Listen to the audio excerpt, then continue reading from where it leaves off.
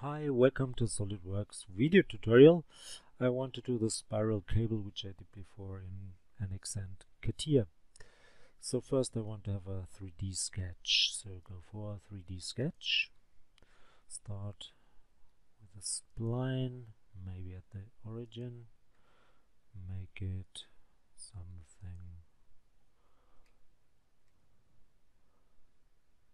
like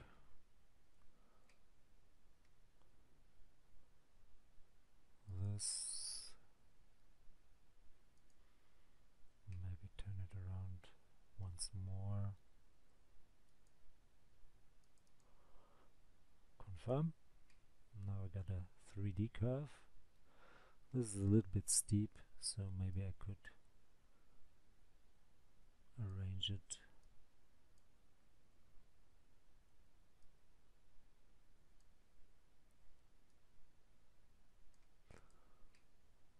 Now it should be able to come around if not just yeah that's more like it. Okay. Then I need a 2D sketch. Leave the 3D sketch. Go for a normal sketch on one of the planes. Let's take a look.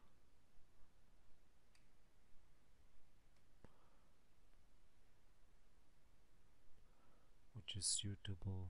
Yeah maybe the right plane. Go for a line maybe like this. Give it a dimension.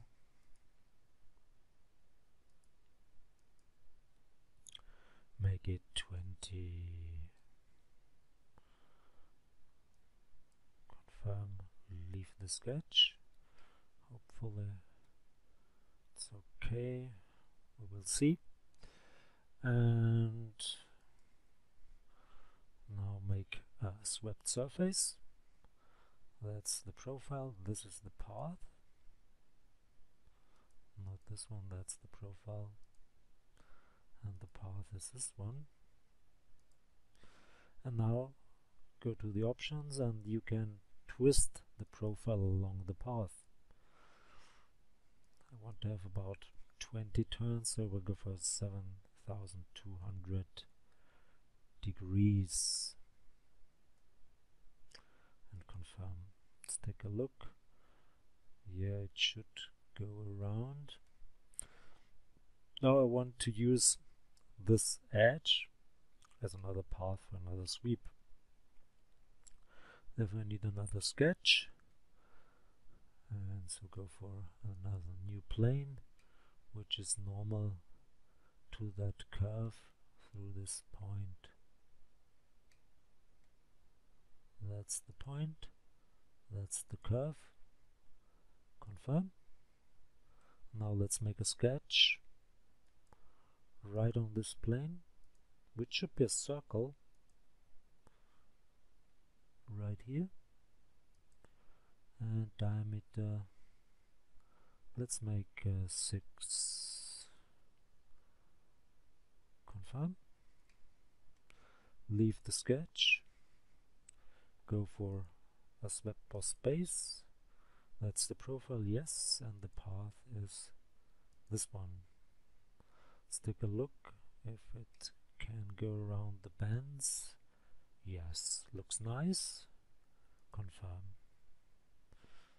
Now hide the swept surface and hide the curve as well.